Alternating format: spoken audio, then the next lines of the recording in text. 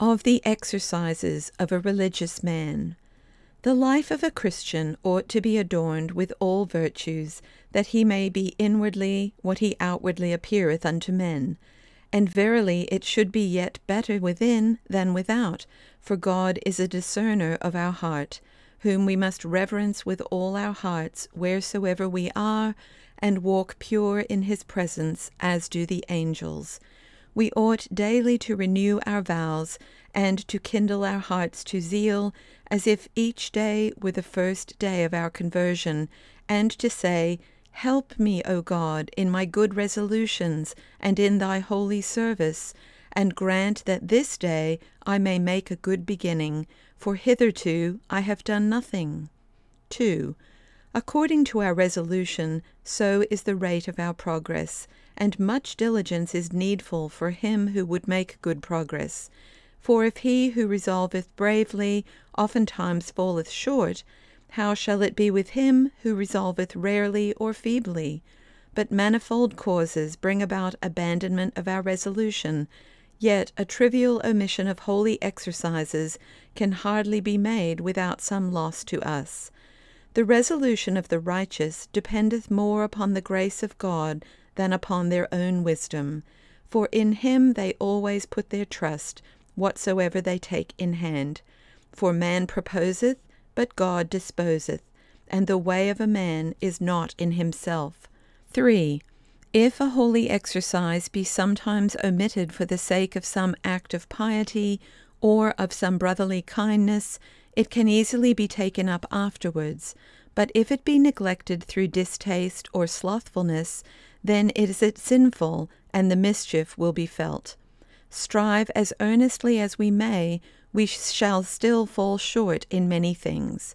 Always should some distinct resolution be made by us, and, most of all, we must strive against those sins which most easily beset us.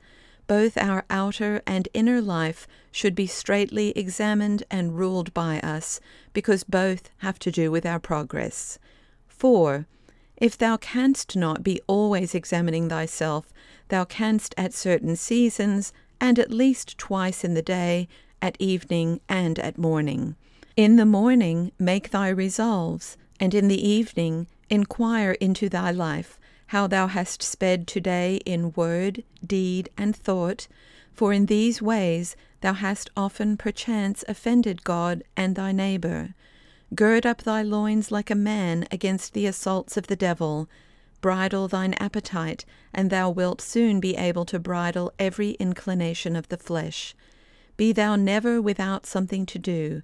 Be reading, or writing, or praying, or meditating, or doing something that is useful to the community. Bodily exercises, however, must be undertaken with discretion, nor are they to be used by all alike. 5.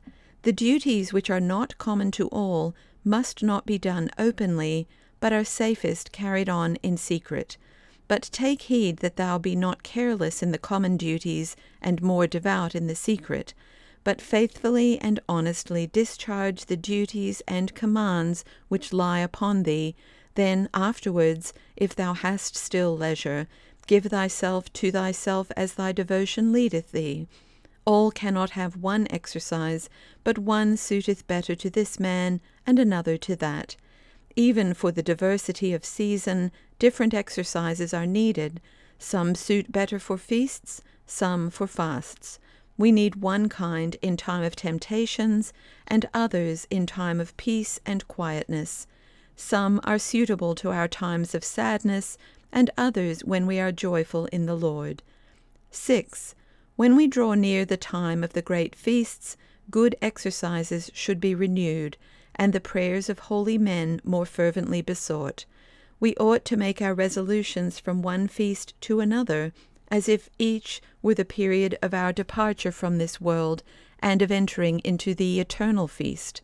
So ought we to prepare ourselves earnestly at solemn seasons, and the more solemnly to live and to keep straightest watch upon each holy observance, as though we were soon to receive the reward of our labors at the hand of God. 7.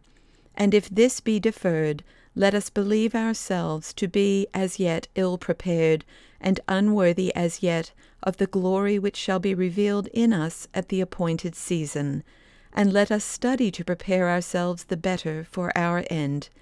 Blessed is that servant, as the evangelist Luke hath it, whom, when the Lord cometh, he shall find watching.